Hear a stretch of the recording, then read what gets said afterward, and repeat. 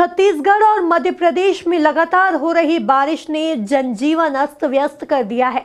भारी बारिश के चलते गौरेला पेंड्रा मरवाही से करीब 15 किलोमीटर आगे मध्य प्रदेश के अनूपपुर में लैंडस्लाइड होने से सड़क क्षतिग्रस्त हो गई।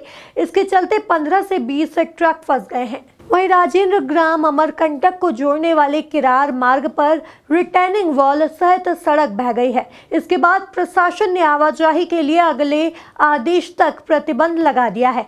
दरअसल बारिश के चलते अनूपपुर ज़िले के पुष्पराजगढ़ विकास खंड क्षेत्र से होकर शहडोल, छत्तीसगढ़ राज्य को जोड़ने वाले सिंहपुर, शहडोल तुलरा मार्ग में तुलरा से पाँच किलोमीटर आगे लैंडस्लाइड हुआ है। इसके चलते बड़े बड़े पत्थर सड़क पर गिरे हैं। यह छत्तीसगढ़ से मध्य प्रदेश और उत्तर प्रदेश को जोड़ने वाला मुख्य मार्ग है। यहाँ तमाम वाहन फंसे हुए हैं। एमपी पीडब्ल्यूडी और एनएचएआई के अफसरों की देखरेख में जेसीबी से मलबा हटाने का काम जारी है।